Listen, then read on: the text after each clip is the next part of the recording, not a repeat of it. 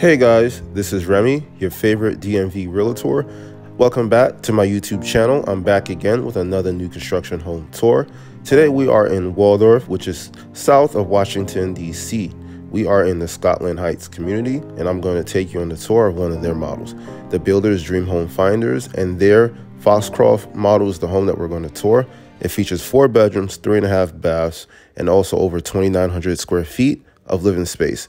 The school servicing this community is Berry Elementary School, Theodore Davis Middle School, and North Point High School. If you're looking for a new construction home, go to yournewhomeshq.com for access to new construction homes. My contact is also below. Make sure you subscribe, comment, share below, and also enjoy the tour. Take care.